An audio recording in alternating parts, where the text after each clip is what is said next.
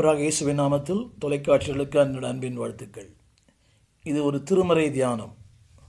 இந்த நிகழ்ச்சியின் நோக்கமே வேதத்தை அறிந்து கொள்வது அறிந்து கொண்ட வேதமுடைய வாழ்வது அதனோடு நம்முடைய வாழ்க்கையை அமைத்து கொள்வது. இதுதான் இந்த செய்தி நோக்கம். Not only a error but also doer இந்த நாளிலே எபேசு புஸ்தகத்திலிருந்து ஒரு சில சத்தியங்களோடு பகிர்ந்து கொள்ள விரும்புகிறேன். இந்த எபேசிய நிருபத்தினுடைய நோக்கமே கிறிஸ்தவர்கள் ஒரு சமநிலை பிரமாணத்தோடு வாழ வேண்டும். அதாவது இன்றைக்கு நம்மில் ப அநேகர் ஒரு வசனத்தை எடுத்துக்கொண்டு அதில் நம்முடைய உபதேசத்தை நாம் வைக்கிறோம். அல்ல அன்பானவர்களே வசனத்தினுடைய இரு பக்கத்தை நாம் கவனிக்க வேண்டும். இந்த எபிசு புஸ்தகத்தின் நோக்கமே மூன்று காரியங்களை திரைகளை பாருங்கள். நம்பர் ஒன் டாக்டரின். சரியான சத்தியத்தை அறிந்து கொள்வது நம்பர் டூ டியூட்டி கிறிஸ்தவ வாழ்க்கையிலே நாம் செயலாற்ற வேண்டிய நம்முடைய கடமைகள் அல்லாவிட்டால் பணிகள். மூன்றாவது தி சாவர்னிட்டி ஆஃப் காட் தேவனுடைய சர்வ வல்லமையின் மகத்துவங்களை நாம் புரிந்து கொள்ள வேண்டும். திரும்ப சொல்லுகிறேன். நம்பர் ஒன் த டாக்டரிங் உபதேசங்களை சரியாய் அறிந்து கொள்வது இன்றைக்கு மிக துக்கமான ஒரு காரியம் என்னவென்றால் உபதேசங்களை விரும்புகிற மக்களும் குறைவு அதை கேட்கிற மக்களும் குறைவு படிக்கிற மக்களும் குறைவு கேட்கிற மக்களும் குறைவு. இன்றைய திருச்சபையில் அதிகமான உபதேசங்கள் இல்லை. அதாவது பிரசங்கம் வேறு உபதேசம் வேறு. டாக்டரின் எப்படி வாழ வேண்டும் எப்படி வாழ வேண்டும் ஒரு சமநிலை பிரமாணம். சில இடங்களில் பார்ப்ப பார்க்கும்போது அதாவது ஒரு ஆராதனையிலே வெறும் ஆராதனை வசனமே இல்லை. சில இடங்களிலே அன்புக்குரியவர்களே வெறும் பிரசங்கம் ஆராதனை இல்லை. சில ஜபமே இல்லை. ரெண்டுமே இவை எல்லாமே சமநிலை பிரமாணமாக ஆராதனை ஜபம் கத்துடைய வார்த்தை எல்லாமே சமநிலை பிரமாணமாக இருக்க வேண்டும். இதுதான் எபேசு புஸ்தகத்தினுடைய அந்த சத்தியம் டாக்டரின் ஆஃப் காட் இரண்டாவது த டியூட்டி ஒரு கிறிஸ்தவனுடைய வாழ்க்கையில் அவன் நிறைவேற்ற வேண்டிய பல க கடமைகள். எனவே தான் அடிக்கடி எபேசு நிருபத்தில் இந்த வார்த்தை வருகிறது. நடந்து கொள்ளுங்கள் நடந்து கொள்ளுங்கள் நடந்து கொள்ளுங்கள் நடந்து கொள்ளுங்கள். நீங்கள் அந்த ஆறு அதிகாரத்தை வாசிக்கும்போது ஆறு அதிகாரத்திலையும் ஒவ்வொரு அதிகாரத்திலையும் நடந்து கொள்ளுங்கள் நடந்து கொள்ளுங்கள். மூன்றாவதாக the divine sovereignty of God தேவனுடைய சர்வ வல்ல மகத்துவங்கள். இதைத்தான் அடிக்கடி நாம் வசிக்கிறோம். எபேசியர் ரெண்டாம் அதிகாரத்தில் கூட த சாவர்னிட்டி ஆஃப் காட் தேவனுடைய வல்லமையை நாம் வாசிக்கிறோம். எபேசியர் முதலாம் அதிகாரம் அந்த மூன்றாம் வசனத்தில் ஆவிக்குரிய சகல உன்னதங்களிலே ஆவிக்குரிய சகல ஆசீர்வாதங்கள். அது மட்டுமல்ல அந்த அந்த அதிகாரம் முழுக்க முழுக்க முழுக்க ஆறாம் அதிகாரத்தில் கூட அந்த தேவனுடைய அந்த மகத்துவத்தின் வல்லமையை அவர் இப்படி முடிக்கிறார். முடிக்கும்போது சமாதானத்தின் தேவன் தாமே. அந்த ஆறு இருபத்தி நாலு கிறிஸ்துவிடத்திலே அழியாத கிறிஸ்து அழியாத அவருடைய அன்பு அழியாத அவருடைய கிருபை அழியாத அவருடைய இரக்கம். It speaks the sovereignty of God தேவனுடைய இரக்கங்கள் அழியாதது அவருடைய அன்பு அழியாதது அவருடைய கிருபை அழியாதது அவருடைய தயவு அழியாதது. அவருடைய அர்த்தம் என்னவென்றால் த சாவர்னிட்டி தேவன் சர்வ வல்லமை உள்ளவர். இந்த நாளிலே என்னுடைய செய்தி என்னவென்றால் எபேசு புஸ்தகத்தில் அடிக்கடி ஒரு வார்த்தை பயன்படுத்தப்படுகிறது இருதயம்.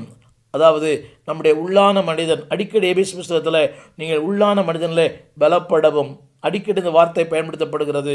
இன்றைக்கு என்னுடைய செய்தியுடைய பொருள் ஒரு மனிதனுடைய வாழ்க்கையில் அதாவது அந்த இருதயம் மகா திருக்குள்ளதும் மகா கேடுள்ளதுமாக இருக்கிறது. அதை திரு அறியத்தக்கவன் யார்? நாளில் நம்முடைய இருதயம் சரியில்லை என்றால் நம்முடைய வாழ்க்கையே சரியாக இருக்காது. நம்ம இருதயம் நம்மை குற்றவாளி என்று தீர்க்கு தீர்ப்போமான தீர்க்குமையானால் நாம் தேவனுடைய சன்னிதானத்தில் நிலைநிறுத்த நிற்க முடியாது. இந்த ஒரு ஐந்து விதமான இருதயங்களை எபேசன் புஸ்தகத்திலிருந்து உடன் நான் வாசிக்க விரும்புகிறேன். முதலாவதாக எபேசு எபேசன் புஸ்தகம் நான்காம் அதிகாரம் பதினெட்டாம் வசனம். இந்த வசனம் இப்படி சொல்லுகிறது. கிறிஸ்துவை அறிந்தவர்கள் கிறிஸ்துவுக்காக தங்களை அர்ப்பணித்தவர்கள் கிறிஸ்துவோடு கூட வாழ்கிறவர்கள். ஆனால் அவருடைய இருதயம் எப்படி இருக்கிறதா பதினெட்டாம் வசனம் அவர்கள் இது விசுவாசிகள் எழுதப்பட்ட ஒரு புஸ்தகம். அவர் சொல்லுகிறார் அவருடைய இருதயம் புத்தியில் அந்தகாரப்பட்டு. அடுத்த வார்த்தை தன் இருதயத்தினுடைய கடினம். ஆங்கிலத்தில் கடினம் என்று எழுதப்பட்டிருக்கு. இங்கிலீஷில் பிளைண்ட் அதாவது அந்த இதயமே ஒரு இருளாய் இருளான இதயமாய் மாறிவிட்டது. அந்த இருதயம் கடினப்படுகிறது. அந்த அர்த்தம் என்னவென்றால் தேவனுடைய ஆசீர்வாதங்களுக்கு அவர்கள் அந்நியராய் மாறிவிடுகிறார்கள் என கேட்டுக்கொண்டு என் முதல் குறிப்பு என்னவென்றால் அதாவது க- அதாவது கடினமான இதயம் தமிழில் கடினமான இதயம் ஆங்கிலத்தில் பிளைண்ட் ஹார்ட் அதாவது ஒரு குருட்டாட்டமான உண்மை எது? பொய் எது? நீதி எது? அநீதி எது? இது சத்தியம்? இது சத்தியமில்லை? இது சரி? இது சரியில்லை? இன்றைக்கு போலிகளுக்கு இருக்கிற மதிப்பு உண்மையான ஊழியர்களுக்கு இல்லை அன்பானவளே இன்றைக்கும் பாருங்களேன் இந்த ஊடகத்தில் போலியான சத்தியம் போலியான நயவசனிப்பு போலியான அட்டகாசமான வார்த்தைகள் அவளுக்கு இருக்கிற அந்த மதிப்பு உண்மையான சத்தியம் பேசுகிற மக்களுக்கு இல்லை. வீணான வார்த்தைகள் அவரை குறித்து இவரை குறித்து அவரை தாக்கி இவரை தாக்கி அவரை கீழே தள்ளி அதற்கு ஏராளமான அதிகமான அதாவது பார்வையாளர் இருக்கிறார்கள். சத்தியம் பேசுகிற ஒரு செய்தியிலே பார்வையாளர் மிக குறைவே. என்னுடைய காரணம் என்னவென்றால் வசனம் சொல்லுகிறது அவர்கள் அந்த பதினேழாம் வசனத்தில் அவர்கள் மற்ற புறஜாதிகளைப் போல வீணான சிந்தை. அந்த vain thoughts will bring you it to to to a empty thought திரும்ப சொல்லுகிறேன் vain thought will lead you into blind heart அன்பானுடைய அந்த வீணான சிந்தை அதாவது நேரம் போகவில்லை படிப்பதற்கு ஊழியமில்லை எதையாயிலும் செய்ய வேண்டும் ஏதோ ஒன்று பேச வேண்டும் ஏதோ ஒன்று எழுத வேண்டும் யாரையாயிலும் தாக்கி எழுத வேண்டும். அன்பானுடைய இவர்கள் யார் என்று சொன்னால் கர்த்தரை அறிந்தவர்கள் கர்த்தரை கர்த்தரை கர்த்தருக்கென்று தங்கள் வாழ்க்கையை அர்ப்பணித்தவர்கள். பதினேழாம் சொல்லுகிறது நான் உங்களுக்கு சாட்சியாக எச்சரிக்கிறது என்னவென்றால் பவுலடியான் சொல்லுகிறான் அழைக்கப்பட்ட அபிஷேகம் பண்ணப்பட்ட உன்னதங்களின் ஆசீர்வாதத்திற்கு சொந்தக்காரராய் மாறின ஒரு கூட்டத்தாரை குறித்து சொல்லுகிறார். நான் உங்களுக்கு எச்சரித்து சொல்லுகிற என்ன என்னவென்றால் உங்களுடைய அந்த வீணான சிந்தை empty mind is a devil's workshop அன்பானவர்களே இந்த வீணான சிந்தை பிசாசனுடைய உலைக்களம் பிசாசனுடைய ஒரு மிக மிகப்பெரிய ஒரு ஆயுத சாலை என கேட்டுக்கொண்டிருக்கிற அன்பு சகோதரனே என் அன்பு சகோதரியே இன்றைக்கு ஊழியம் செய் அநேகருக்கு நேரமே போகவில்லை சிலருக்கு நேரமே போதவில்லை புரி நினைக்கிறேன் சிலருக்கு நேரமே போகவில்லை சிலருக்கு நேரமே போதவில்லை. யாருக்கு நேரம் போகவில்லை சொன்னால் யார் ஒருவருக்கு வீணான சிந்தனை அதாவது வெயின் தாட்ஸ் எம்டி தாட்ஸ் இப்படிப்பட்ட ம இதயம் உள்ளவர்களுக்கு அவருடைய வாழ்க்கை என்ன ஆகிறதாம் தமிழ் வீதத்தில் சொல்லப்பட்டிருக்கிறது. இதயம் கடினமாகிறது. திரையிலே பாருங்கள் பதினெட்டாம் வசனம் இப்படி சொல்கிறது. இருதயம் கடினத்தினாலே அது மட்டுமல்ல அந்த இருதய கடினம் எங்கே கொண்டு போகிறது. ஜீவனுள்ள தேவனுடைய ஆசீர்வாதத்திற்கு நீங்கள் அந்நியர்களாய் மாறிவிடுகிறீர்கள். அது மட்டுமல்ல மிகப்பெரிய ஆபத்து இருக்கிறது. த எம்டி தாட்ஸ் அல்லாவிட்டால் த வெயின் தாட்ஸ் இல்லாவிட்டால் அன்பானுடைய த பிளைண்ட் தாட்ஸ் அந்த குருட்டான இதயம் எங்கே கொண்டு போகிறதாம்? திரும்ப படிக்கிறேன். பத்தொம்போது உணர்வில்லாத வாழ்க்கை. அடுத்து சகலவித அசுத்தல் நடக்கிற வாழ்க்கை. மூன்று அடுத்து காம விகாரத்திற்கான வாழ்க்கை. நட கவனியங்கள் அடிக்கடி கேட்கலாம். அழைக்கப்பட்டவர்கள் இதனைக்கு தள்ளப்படுவார்களா? தள்ளப்பட முடியும். ஏனென்றால் எங்கே? அந்த பிளைண்ட் தாட்ஸ் அல்லாவிட்டால் எம்டி தாட்ஸ் வீணான அல்லாவிட்டால் வெறுமையான ஒரு குருட்டா தமிழ் வேதத்தில் இதயம் என்றைக்கு கடினமாகிறதோ வார்த்தையை கேட்டும். அன்பு கூறியுள்ளே அடிக்கடி கடிந்து கொள்ளப்பட்டும் தன் பிடரியை கடினப்படுத்தும் போது வேதம் சொல்கிறது அவன் சடுதியின்றி சகாயத்தில் நாசமடைவான். எத்தனையோ ஊழியர்களை பார்க்கிறேன் எத்தனையோ ஊழியக்காரர்களை பார்க்கிறேன். நீண்ட கால அனுபவங்கள் இருக்கிறது. இன்னும் வாழ்க்கையிலே கொஞ்சம் கூட மாற்றமில்லை கடினமான இதயங்கள். அதாவது ஒரு அர்ப்பணிக்க வேண்டும் என்கிற அந்த வார் வாழ்க்கை இல்லை. முடிவு என்னவாகிறதா வேதம் சொல்கிறது அவர்கள் உணர்வில்லாதவர்களாய் அடுத்து சகலவித அசுத்தங்களையும் அவளோடு நடப்பிக்கிறவர்களாய். இது சாத்தியமா? அசுத்தங்களை அவளோடு நடப்பிக்கிறார்களா யோசித்து பாருங்கள் யார் இவர்கள்? கிறிஸ்துவை அறிந்தவர்கள். வசனம் சொல்லுகிறது நீங்கள் இவ்விதமாய் கிறிஸ்துவை கற்றுக்கொள்ளவில்லை. ஒரு காலத்தில் கிறிஸ்துவை நாம் அறிந்திருக்கிறோம். கிறிஸ்துவை கிறிஸ்துவோட வாழ்க்கையிலே பங்காய் பாகமாய். செய்தி என்னவென்றால் எங்கே? அந்த வெயின் தாட்ஸ் வீணான சிந்தை வருகிறதோ அங்கே இருதயம் கடினப்படும்.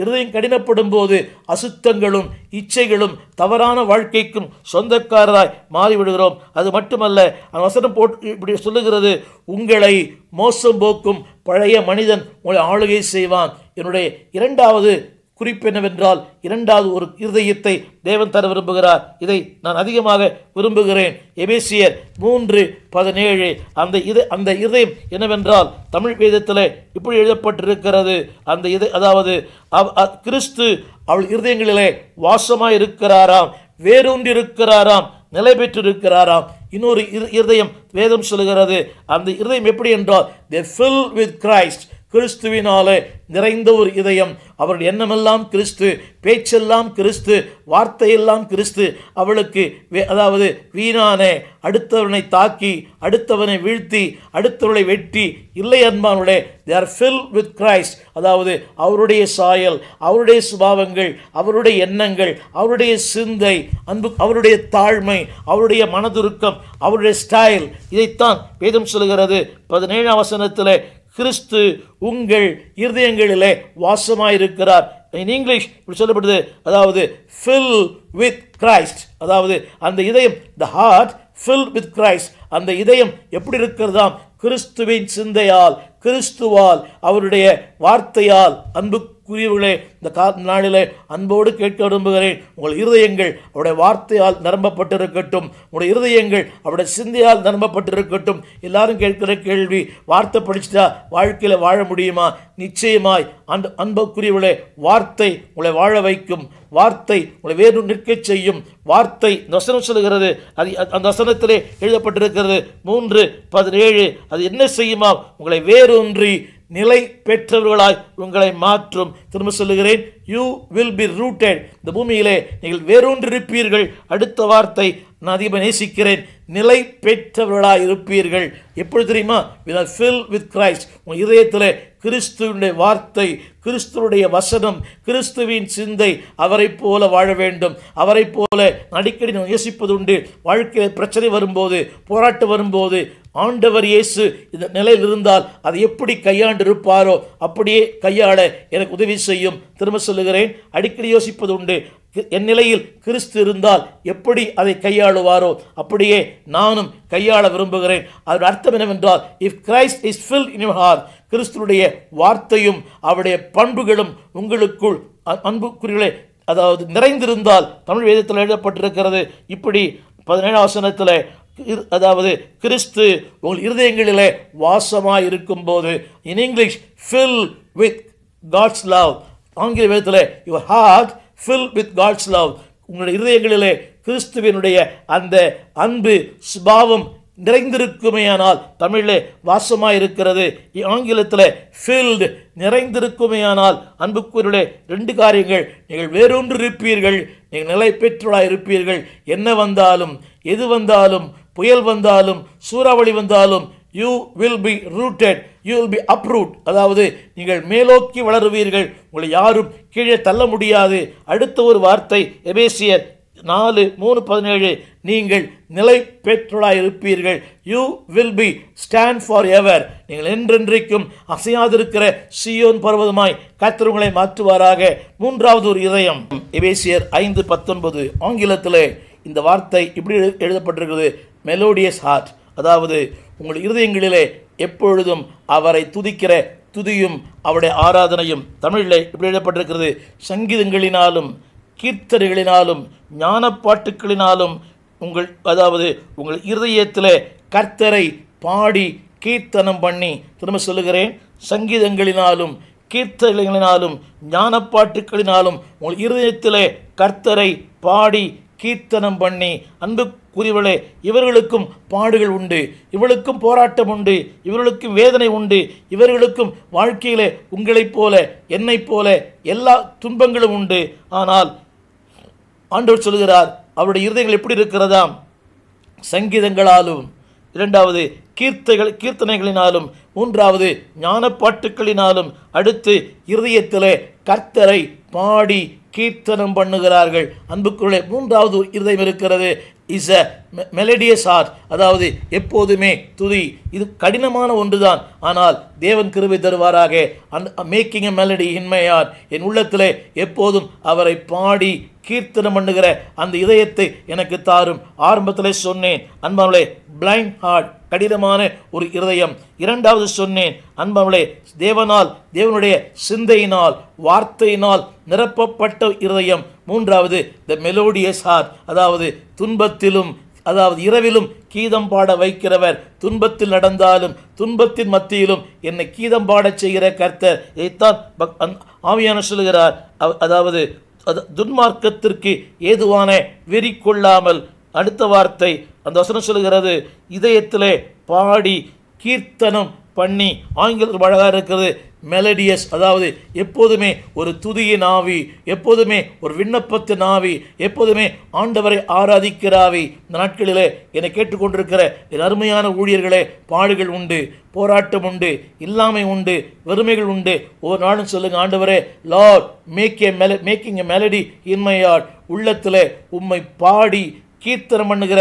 அந்த இதயத்தை எனக்கு தாரும். இந்த வி- அதாவது ஒரு மாயான இதயம் வேண்டாம் வெறுமையான இருதயம் வேண்டாம் கடினமான இருதயம் வேண்டாம் இருளான இருதயம் வேண்டாம் உம்முடைய வார்த்தைகளால் நிறைந்திருக்கிற இருதயமும் உம்மை பாடுகிற உம்மை துதிக்கிற ஒரு இருதயத்தை எனக்கு தாரும். இது கடினம்தான். ஆனால் சாத்தியமானது. அன்புக்குரியவர்களே எல்லா இதைத்தான் சங்கீதக்காரன் அடிக்கடி சொல்கிறார். எக்காலத்திலும் நான் அவரை துதிப்பேன். அவர் துதி எப்போது என் வாயில் இருக்கும்? அன்பு அன்பானவர்களே இது பாடுவது சுலபம். ஆனால் வாழ்க்கையின் பல ப- நிலைகளிலே வாழ்க்கையின் போராட்டங்களிலே வாழ்க்கையின் சூழ்நிலைகளிலே பசியிலும் பஞ்சத்திலும் வறுமையிலும் வியாதியிலும் இருளிலும் அந்தகாரத்திலும் கடினத்திலும் கடந்து போகும்போது அன்புக்குரியவர்களே ஒரு நாள் சொல்லுங்கள் Lord making a melody in my heart உங்களுடைய இருதயம் அவரை பாடி அவரை கீர்த்தனம் பண்ணி அதுக்காக வாயிட்டு போன அர்த்தம் இல்லை. இதயத்திலேயே அது அவருக்கே தெரியும்.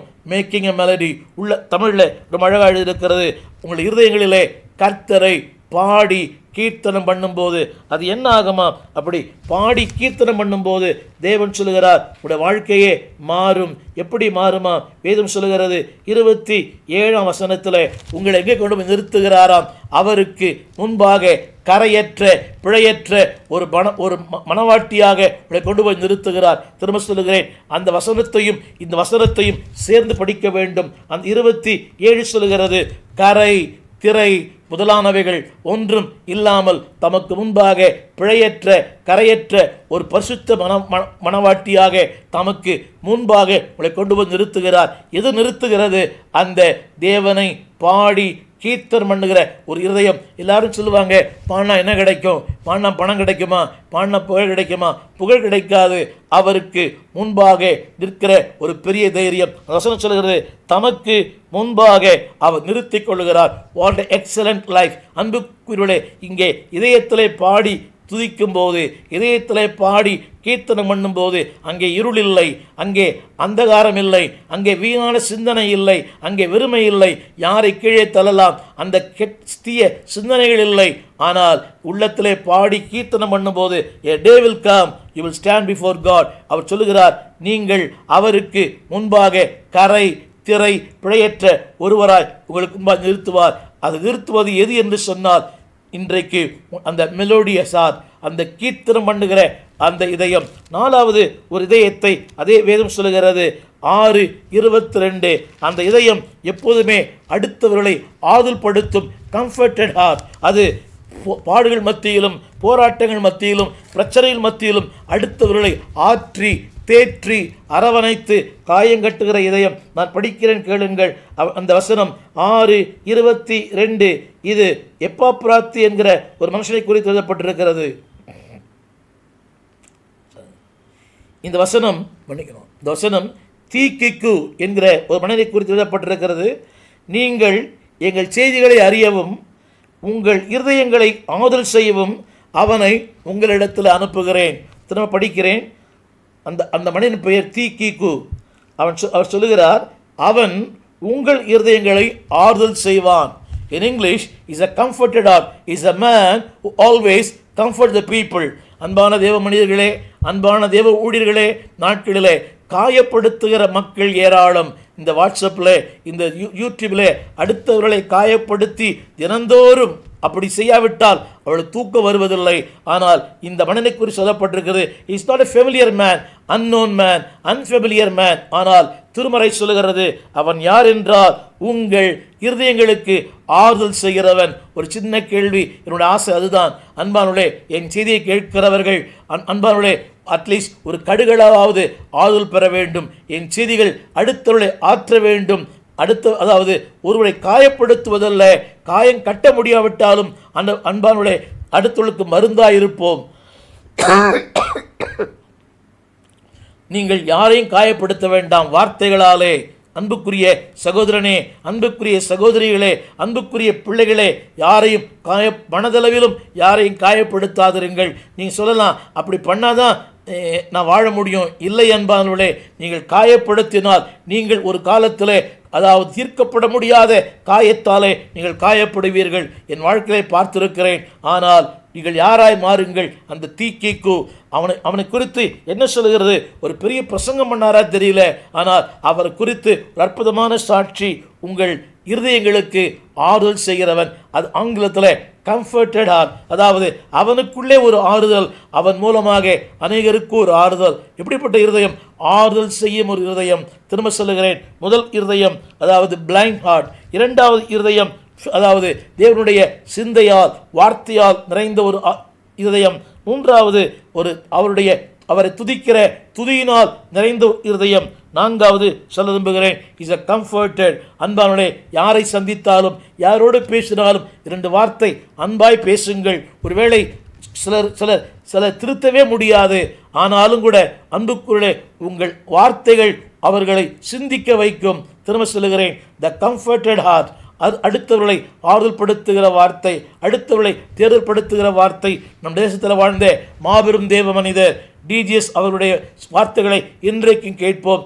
எந்த நிலையில் அந்த வார்த்தையை கேட்டாலும் உள்ளத்தில் ஒரு மிகப்பெரிய ஆறுதல் மிகப்பெரிய அமைதி அன்புக்குரியவர்களே என் வாழ்க்கையிலே நான் கடந்து வந்தேன். சில நாட் சில ஆண்டுகளுக்கு முன்பாக ஒரு மூன்று மாதம் அதாவது படுக்கையில் கிடந்தேன். மரணத்தின் படுக்கை விளிம்புக்கு போனேன் ஒவ்வொரு நாளும் அவருடைய வார்த்தைகளும் அவருடைய பாடல்களும் மிகப்பெரிய ஆறுதல். அன்பானவர்களே நீங்கள் மறித்தாலும் உடைய வார்த்தைகள் மறிப்பதில்லை. இன்னை இன்றைக்கு தீர்மானம் செய்வோம். Lord give a comforted at அடுத்தவர்களை ஆறுதல் படுத்துகிற ஒரு இதயத்தை எனக்கு தாரும். அன்பான அடுத்தவர்களை காயப்படுத்து இதயம் அல்ல. அடுத்தவருடைய காயங்களை கட்டுகிற இதயம் அடுத்து எபேசி புஸ்தகத்தில் இன்னொரு இதயம் சொல்லப்பட்டிருக்கிறது. ஐந்து ஆறு ஐந்து. அந்த எபேசியர் ஆறு ஐந்து.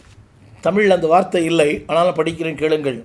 வேலைக்காரரே நீங்கள் கிறிஸ்துவுக்கு கீழ்ப்படுகிறது போல சரீரத்தின்படி உங்கள் எஜமான்களாக இருக்கிறவர்களுக்கும் பயத்தோடும் நடுக்கத்தோடும் கபடற்ற மனதோடும் கீழ்ப்படிந்து தமிழ் வேதத்தில் கபடற்ற மனம். வாசி திரும்ப அந்த வார்த்தை அழுத்தி வாசிக்க விரும்புகிறேன். என்ன மனம் தமிழில் மனம். அல்லாவிட்டால் இருதயம் கபடற்ற மனம். அல்ல சூதுவாதி இல்லை. அதாவது அதில் வஞ்சகம் இல்லை. இன்றைக்கு ஒவ்வொரு உறவுகளிலேயும் அதிகமான வஞ்சனை இருக்கிறது. எதிர்பார்த்து பழகிற உதவி அதாவது உதவி அன்பானுடைய அதான் அந்த வேலை முடிஞ்ச பிறகு தூக்கி எறிகிற உலகம் அது. ஆனால் ஆவியான சொல்கிறார் கபடற்ற இதயம். அன்பானுடைய வஞ்சிக்கிற ஒரு பார்தலத்திலே தேவன் சொல்கிறார் கபடற்ற இதயத்தோடு கர்த்தருக்கு ஊழியம் செய்யுங்கள். இந்த இதயம் எப்படிப்பட்ட இதயம்? கபடற்ற இதயம். பேச்சிலே உண்மை நாவிலே உண்மை உறவுகளிலே உண்மை. இன்றைக்கு பேசும்போதே உள்ளொன்று வைத்து புறமொன்று பழகும் போதே எதிர்பார்ப்பு அல்லாவிட்டால் நம்மோடு நட்பாக இருக்கும்போதே ஏதோ ஒரு எதிர்பார்ப்புக்காக பழகிறவர்கள் அது முடிந்தப்புடனே அந் தூக்கி எறிகிற உலகம். வேதம் சொல்கிறது எப்படிப்பட்ட இதயம்? கபடற்ற இதயம். இன் இங்கிலீஷ் இப்படி போட்டது சிங்கிள் ஹார்ட் அதாவது அவளுக்கு வேறு இதயம் இல்லை ஒரே இதயம்தான். என்ன? கிறிஸ்துவுக்காக கிறிஸ்துவின் நாமத்துக்காக. இது கூட அழகத்தான் இருக்குது. சிங்கிள் ஹார்ட் அதாவது இட்ஸ் நாட் டபுள் ஹார்ட் அதாவது ஒரே மனம். அதை வேதம் சொல்லுது ஏக சிந்தையோடு தமிழில் ரொம்ப அழகாக இருக்குது கபடற்ற மனம். ஆரம்பத்தில் சொன்னேன் அன்பானுடைய அதாவது கடினமான இதயம். இரண்டாவது சொன்னேன் கிறிஸ்துவினால் நிறைந்த இதயம். மூன்றாவது கிறிஸ்துவினாலே கிறிஸ்துவை துதிக்கிற இதயம். நான்காவதாக அடுத்தவர்களை ஆதல்படுத்து இதயம். கடைசியாக சொல்ல விரும்புகிறேன் கபடற்ற இதயம். அதாவது அதில் வஞ்சனை இல்லை. அதில் யாரையும் அதாவது அதாவது பின்னாலே புறங்கூறுகிற எதிர்பார்ப்போட க- அதான் விஷயம் இப்படி சொன்ன புரியும். காரை நடக்கிற வரைக்கும் காலை பிடிக்கணும் அப்புறம் காலை வாரணும். இல்லை என்பவர்களே அது வஞ்சகத்தின் இதயம். ஆனால் இங்கே ஆவியான சொல்கிறார் கபடற்ற மனம். அதில் எதிர்மான சூதுவாது இல்லை. இந்த பூமியிலே அதை கண்டுபிடிக்கிற கண்டுபிடிக்கிற மக்கள் மிக குறைவு வாழ்கிற மக்கள் மிக குறைவு. ஆனால் நீங்களும் நானும் அப்படிப்பட்ட மனதோடு கூட கபடற்ற மனம் எதிர்பார்ப்பு இல்லை நிபந்தனை இல்லை. அன்பானுடைய இந்த ஊழியத்தை இது நாள் வரை இப்படித்தான் செய்து வருகிறேன். ஆயிரம் பேர் ஆயிரம் சொன்னாலும் என் உள்மனம் எனக்கு சொல்லும் சாட்சியே எனக்கு புகழ்ச்சி எதிர்பார்ப்பு இல்லை. மக்கள் அதாவது இதை செய்தால் இது கிடைக்கும். வீணான புகழ்ச்சி எனக்கு இங்கு வேண்டாமே. கபடற்றது மனம். அன்புக்குள்ளே அது எங்கே கொண்டு போகுமா? வசனம் சொல்லுகிறது அந்த வார்த்தை நம்ம எங்கே கொண்டு போகுமா? திரும்ப வசனத்தை நான் படிக்கிறேன் கேளுங்கள்.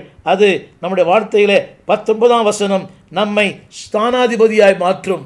எத்தனை பெரிய வார்த்தை பாருங்கள் பத்தொன்பதாம் வசனம் ஸ்தானாதிபதியாய். அது மட்டுமல்ல வஸ் தைரிய வச வசனத்தை தைரியமாய் பேசுகிற ஒரு கிருவை ரெண்டாவது இருவாசனம் சுவிசேஷத்தின் ரகசியங்களை கத்தர் கற்றுக் கொடுப்பார். நான்காவதாக வாக்கின் வல்லமையை தேவன் தருவார். எத்தனை பெரிய வார்த்தை. திரும்ப சொல்லுகிறேன் பத்தொன்பது. உங்களை ஸ்தானாதிபதியாக it will make you ambassador of Christ இரண்டாவது சொல்ல விரும்புகிறேன் அடுத்த வார்த்தை தைரியம். மூன்றாவது வார்த்தை சுவிசேஷத்தின் ரகசியம். நான்காவது வார்த்தை அன்பானவர்களே உங்களை ஒரு மேன்மைப்படுத்துகிற ஒரு நிலைக்குள்ளே கத்தர் உங்களை கொண்டு வருகிறார். இந்த காலை வேளையிலே இந்த நாட்களிலே என்னை கேட்டுக்கொண்டிருக்கிற அன்பு தெய்வ பிள்ளையே ஒரு இருதயம் எப்படிப்பட்டது? உன் கடினமான இருதயமா? இருமணமுள்ள இருதயமா? முரட்டாட்டமான இருதயமா? இல்லாவிட்டால் வசனத்தால் தேவனுடைய வார்த்தையால் தேவனுடைய துதியால் நிறந்த இருதயமா? அடுத்தவர்களை ஆறுதல் படுத்துகிற இருதயமா? கபடமற்ற இருதயமா? கவடமுள்ள இருதயமா சற்று ஆராய்ந்து பார்ப்போம். என்னை ஆராய்ந்து என்னை சோதித்து அறிந்து கொள்ளும் என்று ஜெபத்தோடு கூட ஜெபிப்போம். கத்தர் உங்களை நடத்துவார். ஜெபிப்போம். நல்ல ஆண்டவரே தருமையான வேலை காய்த்து துதிக்கிறோம். இருதயமே மகா திருக்குள்ளதும் மகா கேடுள்ளதுமாக இருக்கிறது. அது அறியத்தக்கவன் யார்? நாளிலே ஆண்டவரே வசனத்தால் நிறைந்த ஒரு இதயம் அடுத்தவர்களை ஆறுதல் படுத்துகிற ஒரு இருதயம் ஆண்டவரே உமை இரு இப்பொழுதும் உள்ளத்திலே கீர்த்தனம் பண்ணுகிற இதயம் எல்லாவற்றுக்கும் மேலாக ஆண்டவரே உமக்காக வாழ்கிற ஒரு இதயம் கபடற்ற ஒரு இதயத்தை எங்களுக்கு தாரும். வீணான இதயம் வேண்டாம் கடினமான இருதயம் வேண்டாம். வசனத்தை எவ்வளோ கேட்டோம் கொஞ்சம் கூட வாழ்க்கை மாறாமல் அர்ப்பணம் இல்லாமல் வேதம் சொல்கிறது துன்மார்க்கன் நெடுக போய் தண்டிக்கப்படுகிறார். கடினமான இதயம் வேண்டாம். அந்த ஸ்டபன் ஹார்ட் வேண்டாம் ஐயா. Making a melody in my heart my துதிக்கிற இதயம் மை பாடுகிற இதயம் ஒரு நவமான இதயத்தை தாங்க. கல்லான இதயத்தை மாற்றுங்கப்பா. சதையான இதயத்தை தாங்க. அடுத்தவரை ஆறுதல் படுத்துகிற இதயத்தை எங்களுக்கு தாங்க ஆண்டவரே. நாட்களில் அப்படி செய்யும்போது அந்த ஆறுதல் படுத்துகிற இதயத்தினால் எங்களை ஸ்தானாதிபதிகளாய் ஆண்டவர் தைரியத்தையும் பரலோகத்து ரகசியம் கற்றுக் கொடுக்கிறீர் அதற்காக நன்றி. எஸ் லார்ட் கீர்த்தனம் பண்ணும்போது கரைய கரையற்ற பிழையற்ற ஆண்டவரே உமக்கு முன்பாக நிறுத்துகிறீர். உமக்கு நன்றி ஆண்டவரே. கடினமான இருதயம் வேண்டாம். இருளான இருதயம் வேண்டாம். வீணான இருதயம் வேண்டாம். வார்த்தையால் நிரப்பப்பட்டு இருதயத்தை எங்களுக்கு தாரும். இந்த அடியானுக்கு நீ வெளிப்படுத்தின இந்த ரகசியங்களுக்காக நன்றி ஆண்டவரே. தொடர்ந்து making a melody in my heart இதயத்தில் எப்போதும் பாடி கீர்த்தனம் பண்ணுகிற இதயத்தை எங்களுக்கு தாங்க. எந்த நிலையிலும் சாத்தியமில்லை. ஆனாலும் சாத்தியமாக்கி கொள்ள உதவி செய்யும். இயேசுவி நாமத்தில் எங்கள் நல்ல பிதாவே ஆமே அன்பானவளே எப்படிப்பட்ட இருதயம் உள்ளவளாக இருக்கிறீர்கள்? உங்கள் இருதயமே நீங்கள் யார் என்று உங்களை இந்த உலகத்துக்கு அறிமுகப்படுத்தும். சில நேரங்களில் ஏமாற்றலாம் ஆனால் ரொம்ப நாள் ஏமாற்ற முடியாது. ஏனென்றால் உங்கள் இருதயம் நீங்கள் யார் என்பதை இந்த உலகத்துக்கு சொல்லிவிடும். கபடற்ற இதயம் அல்ல. அன்பானவளே கபடமில்லாத இதயம் வசனத்தால் நிறைந்த இதயம் அடுத்தவர்களுக்கு ஆறுதல் செய்கிற இதயம் அப்படிப்பட்ட இதய இதயத்தோடு கூட வாழ கத்து உதவி செய்வாராக. அந்த மனம் ஒருவேளை பிரபலமான இல்லா இருக்கலாம் தீக்குக்கு அவனை பற்றி ஒன்றுமே இல்லை. ஆனால் ஒன்று சொல்லியிருக்குது அநேகருக்கு ஆறுதல் செய்கிறவன். இப்படிப்பட்ட ஆறுதல் செய்கிற ஒரு மனதை உடைய வாழ கிருபை செய்வாராக. காட் பிளஸ் யூ இந்த நிகழ்ச்சிகளை குறித்த உங்கள் கருத்துக்களை எங்களோடு பகிர்ந்து கொள்ளுங்கள். இந்த பக்கத்தில் இருக்கிற பெல் பட்டனை அழுத்தி ஒவ்வொரு புதிய வெளியீடுகளை நீங்கள் பார்க்க அன்போடு கேட்கிறேன். இந்த நிகழ்ச்சி ஆசீர்வாதமாக இருக்குமேயானால் மற்றவர்களுக்கும் நீங்கள் ஷேர் பண்ணுங்கள். God bless you